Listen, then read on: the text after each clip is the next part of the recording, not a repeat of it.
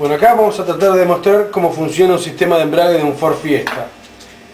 Placa y disco, porta crapodina, bomba de embrague, pedalera, reservorio y el pedal.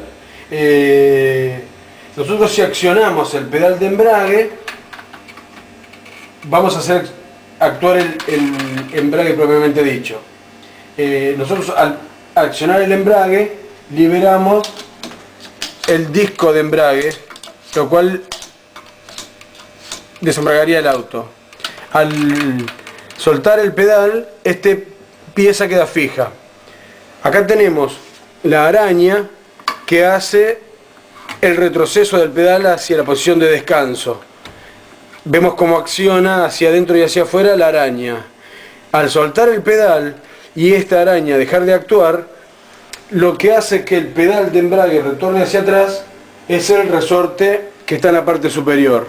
Pisamos el embrague y al soltar libera la fuerza la araña del disco y en última parte lo retrocede el resorte que tenemos aquí. El pistón vemos que llega hasta el final del recorrido y cuando vuelve hacia atrás el resorte es el que lleva el pedal de embrague a la forma de descanso. Eso es todo.